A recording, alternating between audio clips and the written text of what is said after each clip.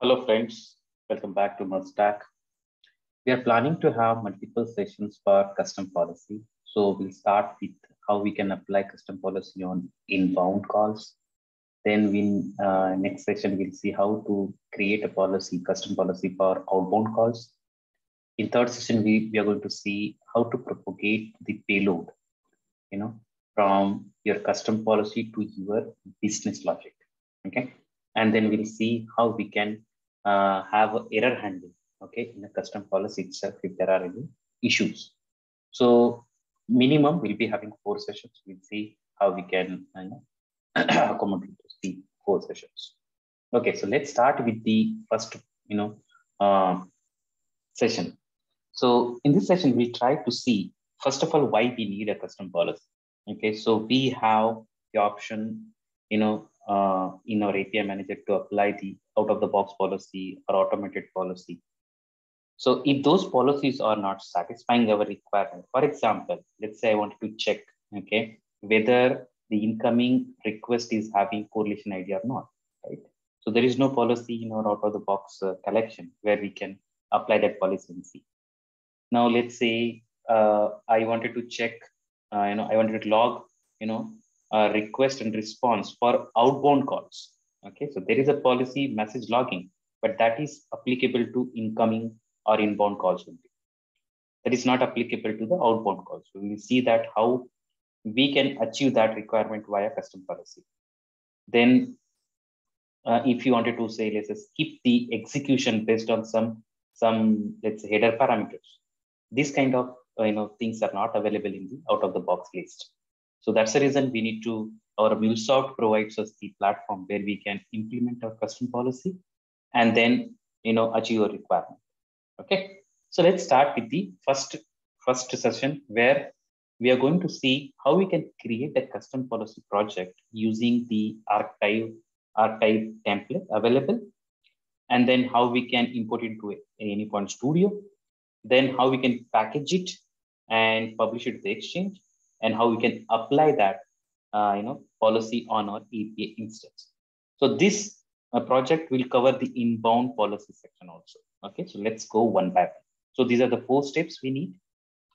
Then before creating the custom policy project, we need to set up our setting.xml. Okay, so if you are not aware that where to find setting.xml, this is actually Maven setting.xml. Will be your uh, local Maven repository. So let me take you to the, so I can take you to the Maven dot repository location. So this you'll find in the users, your username and dot m2 folder. So this is your setting.xml. Cannot show you right now the content of this file because I my credentials are there. Okay. So I'll explain it on my presentation itself. Okay, so when we are configuring setting.xml, we'll be configuring two servers. Let me tell you why we need two servers. Okay, so first server, server will be having credentials of your AnyPoint platform. So why we need this? So when we are planning to, or we, when we publish our custom policy project to exchange, we need this credential. Okay. Second server will be responsible so in our pom.xml, there will be extension called HTTP transform. Okay, that extension is responsible if your custom policy is changing header or you know body of incoming request or outgoing request. In that case, we need that HTTP transform extension. So to use or you know uh, implement that kind of requirement, we need a Nexus repository credentials. Okay, so the second server will be having Nexus repository credentials. Okay. Then we'll be configuring two profiles, one for archetype project and other for our Nexus repository, which is for, uh, you know, HTTP transform extension. So this one will be responsible to generate our archetype project, this profile. Second profile is responsible for, uh, you know, uh, making sure that this HTTP transform extension will work properly. So this this once your setting.xml is you know configured properly, we are ready to create our first project or custom policy project. Okay, so this is the command. Okay, which is which will give us the custom policy project, you know, ready-made, where we need to add our business logic and then use it according to a requirement. So in this command, we need to change the org ID. We need to change the policy name. Okay, so let me show you in my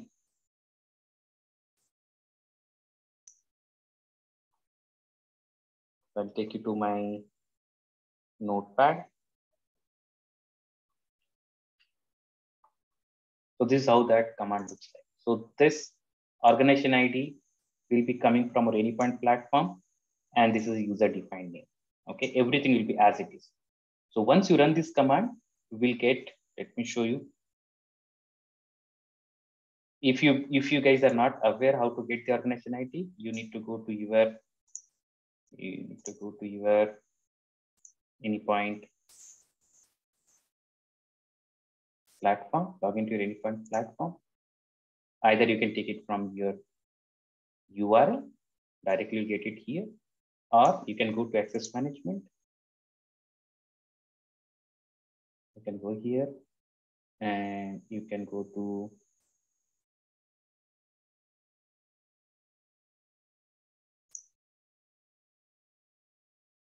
organization, sorry. From this, you'll find your organization ID here. Okay. This, this once you get this value, you can go ahead and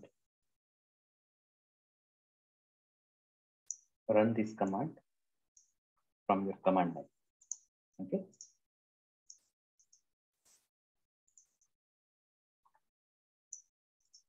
Okay once you run this command, if everything goes right, okay, we'll get a project.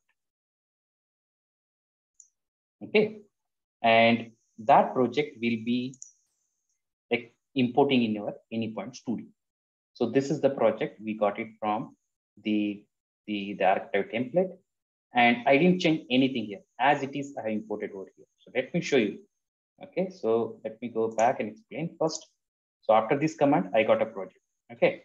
In that project, there will be two important files. Okay. If we go back, two important files. One is your template.xml and second is your YAML. Okay. So this, this YAML file is responsible for rendering your policy configuration in API Manager. Okay. So whenever you open API Manager and you start applying that policy, you see some properties over there. Okay. So with the default project, we won't be able to see any properties. Second file is a template.xml. Here we'll be writing our business logic. So you can see here.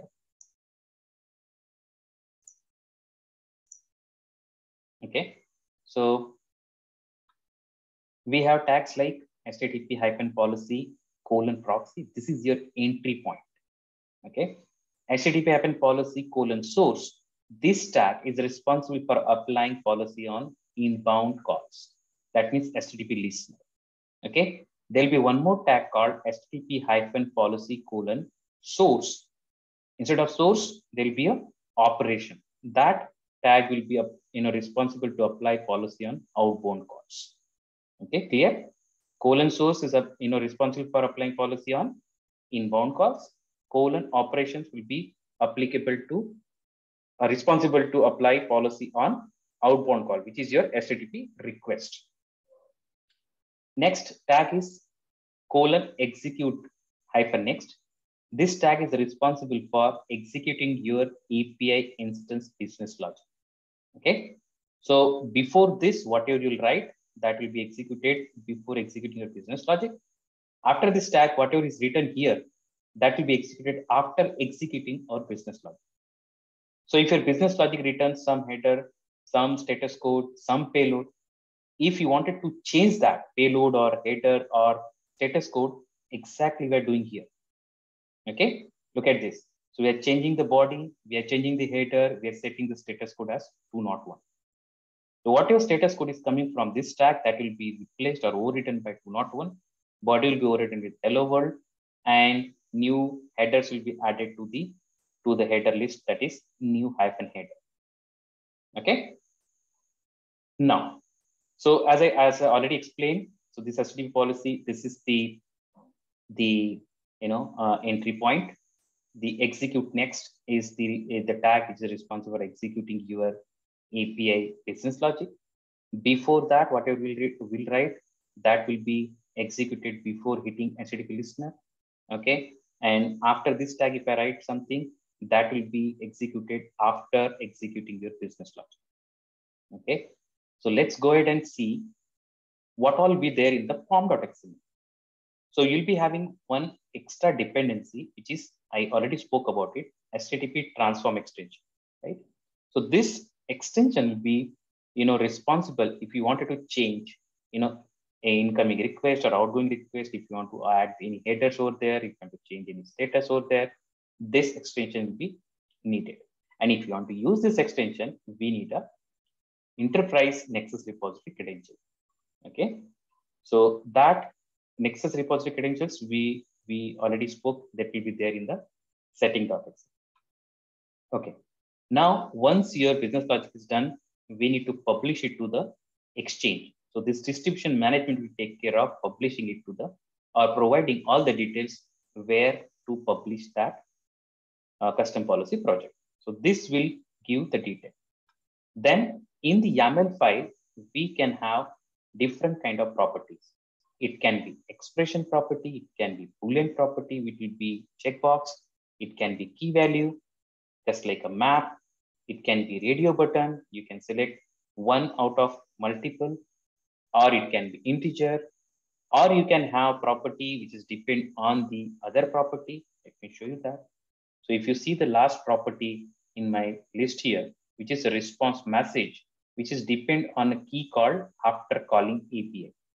So the moment I, so the after calling API property is a Boolean property and default value is false. So right side, you can see the default, it won't be selected. If it is not selected, then the response message property won't get rendered.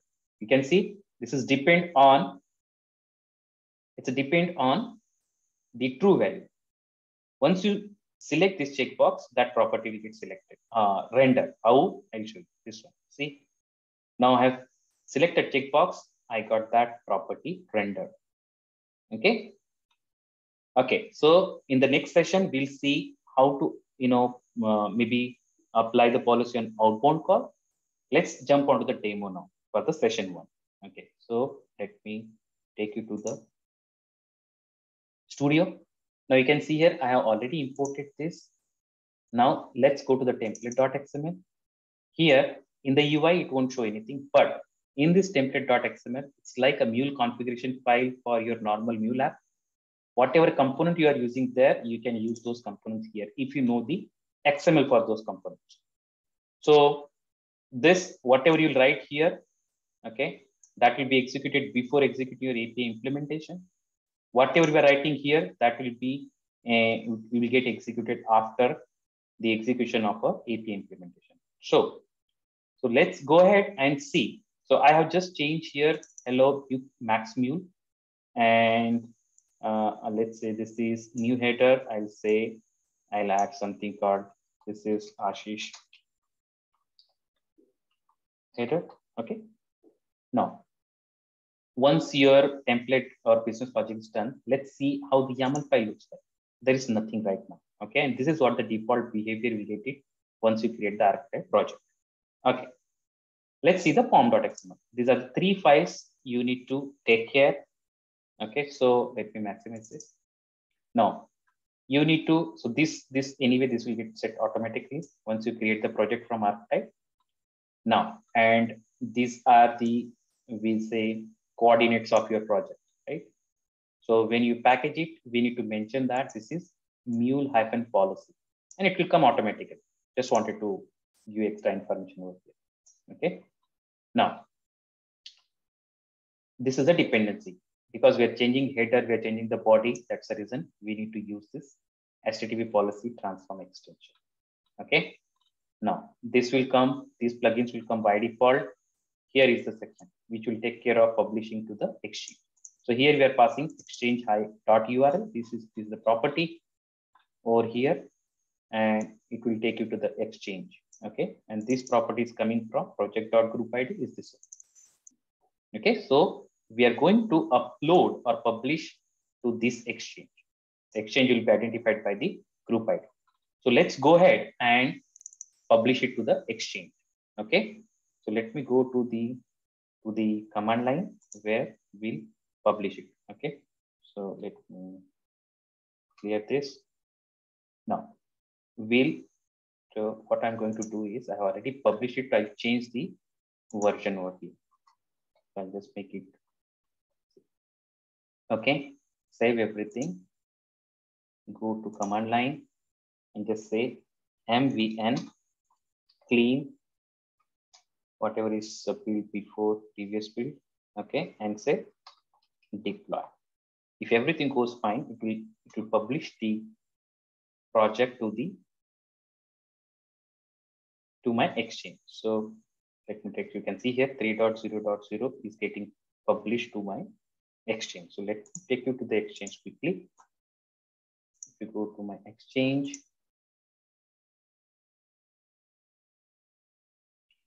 So this is my policy. Let me check. Yes, see 3.0.0 is available now. Just now we have published it. We can see the date December 14, 2021. Now, once I it is available in the exchange, it will be available inside my API manager also. So let's go ahead and see in the API manager. So we are working on inbound policy right now. Okay. So we have not added any payload propagation or you know outbound policy. So let me go to my Hello World API. So right now we have not applied any policy over here. If you see the my Hello World, it will give me this output. Okay. And once we apply the policy, the payload will get changed. And what we'll get, let me show you. We'll get hello max bill. And there'll be an extra header added in the output. So right now, there is no new header over here, right? Okay, let's go ahead and apply that policy on this instance. So it's a policy section, go to apply new policy, go to custom section, okay, custom category. And this is our use case 00 custom policy. And this is our version, latest version. Go ahead and configure it. In the UI, there are no properties exactly that's what we wanted here in our YAML file. We have not configured anything. So the same empty. That's the reason we are able to see here. Empty, no properties. Okay. Apply this. Okay. It will take some time, some seconds. Okay. Let's go to our uh, Postman and see whether how much time takes. Still hello world is there.